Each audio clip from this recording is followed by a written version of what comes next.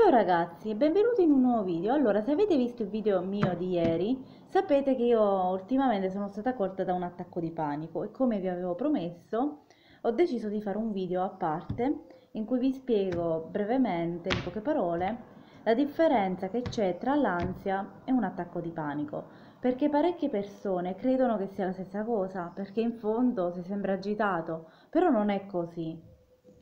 Non è così perché c'è una grossa differenza tra avere un attacco d'ansia e, e l'attacco di panico. L'ansia è una cosa conscia, più diciamo che ti senti tu, sai di avere l'ansia. E i sintomi sono i seguenti. Dolore al petto e al palmo delle mani, cuore che batte più forte del solito, sudorazione, tremori e affanno. Quando, per farvi soltanto uno dei tanti esempi, quando io andavo a scuola, siccome io non è che ho passato dei bei momenti, avevo l'ansia.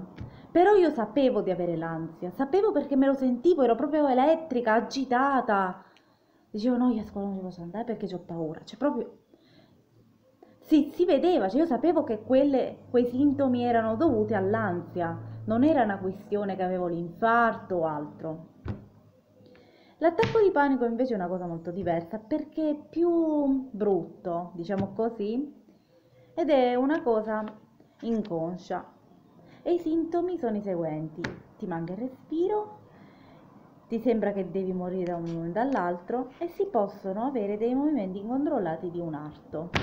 Perché è una cosa inconscia? Perché tu, tu non ti senti che sei agitato, cioè tu sei calmo, fai le cose che fai sempre, soltanto che c'è questo affanno, questa sensazione di non poter respirare. E ci sono parecchie persone che per un attacco di panico sono andate a finire al pronto soccorso proprio perché pensavano di dover morire.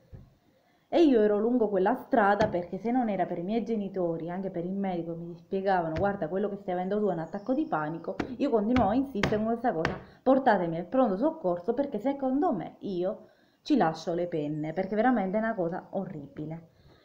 E così brevemente vi ho spiegato la differenza che c'è tra le due cose. Se il video vi è piaciuto non dimenticate di mettere un pollice in su e mi raccomando iscrivetevi al canale.